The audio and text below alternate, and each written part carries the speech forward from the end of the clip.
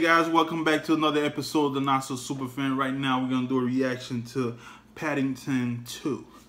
Um, this movie, when it came out, um, I was kind of hesitant about it, but after I watched it, it was one of the best heartwarming movie I ever watched. Um, the cast did great, and I love the story, the family aspect of it.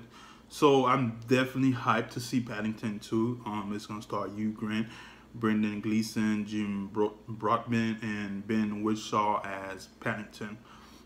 So let's go ahead and jump right into it and check out the trailer for Paddington 2.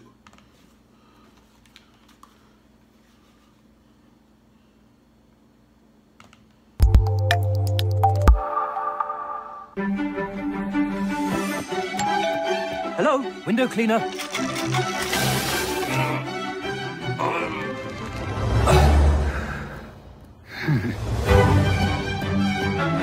What is your name? Paddington? Paddington? Yes. You're where there's a bear on your roof.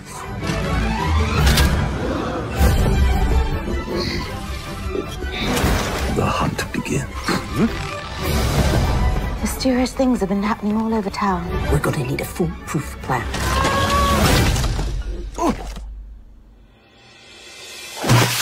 Ow. This is breaking and entering. We haven't broken anything.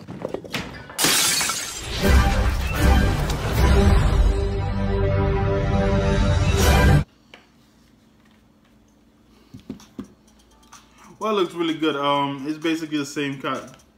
Uh, from what I've read, uh, it's basically Paddington trying to um, get picking up these odd jobs, um, basically to make money to buy um, a present for Aunt Lucy. Then the money, money, the present end up getting stolen. So while he's, I guess, doing those trial and error of finding a job, he, you know, from the original movie, he always does this thing that gets him in trouble, or you know, he's a little clumsy and stuff. So definitely gonna watch it. Definitely gonna bring the kids to watch it. And you guys should also, if you haven't checked out Paddington, I would suggest you check it out. Or pick up a book in your local library and just read the story. It's a pretty great story. Well, guys, that was my reaction for Paddington 2. Don't forget to like and subscribe to the channel, and I will be seeing y'all soon with more reviews and reactions.